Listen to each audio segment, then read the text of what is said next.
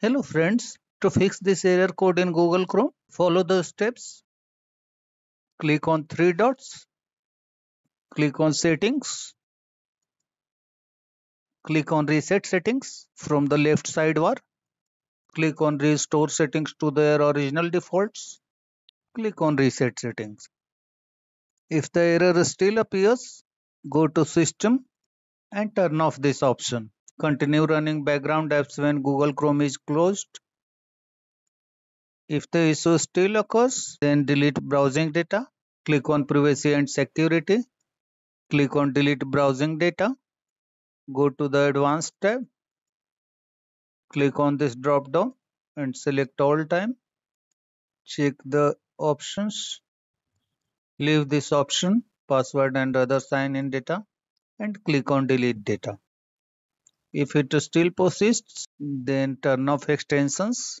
Click on extensions. Turn off all the extensions.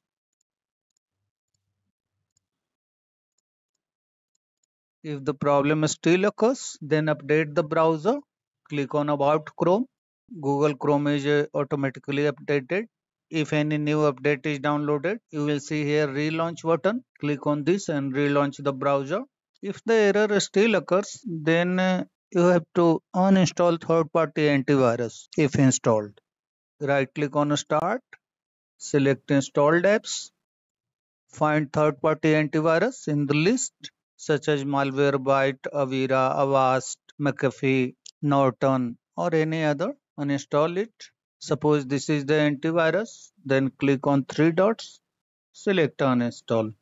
Click on uninstall after uninstalling the antivirus, restart your computer. Status access violation should be fixed now. That's all friends.